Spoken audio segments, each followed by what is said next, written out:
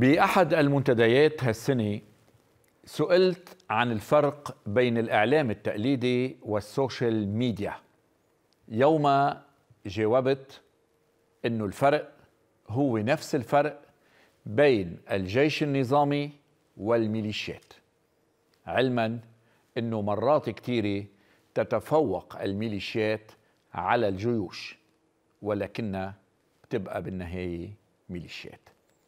طبعا هون مع استثناء لعدد كبير من صناع المحتوى المحترمين والمثقفين الموجودين أيضا على السوشيال ميديا والمنصات المحترمة اللي بتقدم مادة مفيدة للعالم.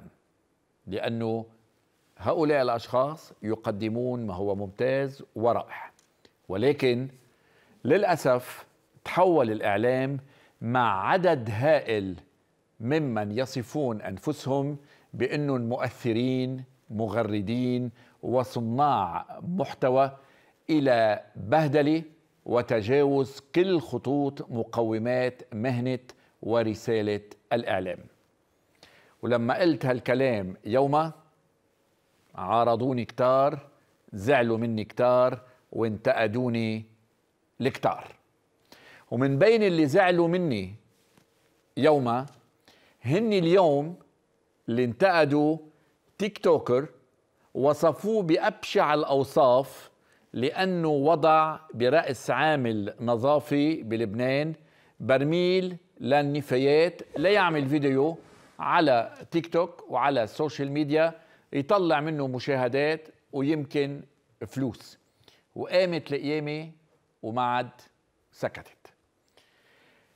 يا جماعة اللي شتمتوه أنتوا اليوم بعد ما كنتوا هاجمتوني أنا لما قلت هيدا الكلام وقتها هو وأمثاله الكتار اللي أنا قصدتهم بحديثي لما تحدثت عن الميليشيات على ال social media لأنه هؤلاء من الصعب جدا أنهم يتسللوا إلى الشاشة. ولكن من السهل جدا أنه يفتح تليفونه ويسجل اللي بده إياه ويقول اللي بده إياه. وحكيت عنهم يوما إنهم استغلوا الإعلام لتحويله إلى مادة شتم وأذى واستباحة أعراض واستباحة مقامات. نعم للأسف أولادنا وشبابنا ما عم بيتعلموا من صناع المحتوى الحقيقيين المثقفين المحترمين. إنما للأسف عم ينجروا وراء أمثال هؤلاء المتليين السوشيال ميديا وراء حثالي اعتبروا إنه حريتهم هي بشتم وأذية الآخرين وتحريض على أمور كثيره مثل ما شفنا قتلت كثير ناس هذه الأمور وممكن أيضا تدفع باتجاه أعمال مخلة ويمكن أوقات كثيره بتدفع بناس للانتحار نتيجة ما يقال عنهم وينشر عنهم وبعض التنمر عنهم.